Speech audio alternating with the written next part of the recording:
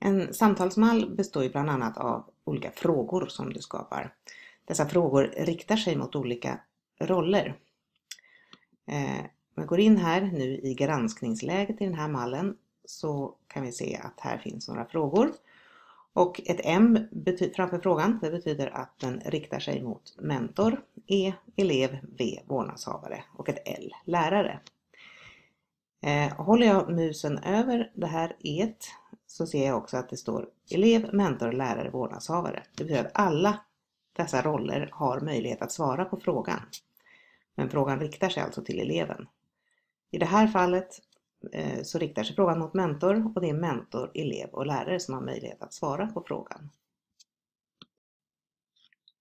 Vill jag ändra det så går jag till redigeringsläget helt enkelt.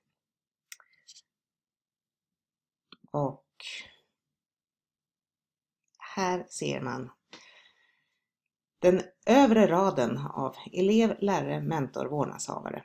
Den talar om vem frågan riktar sig mot.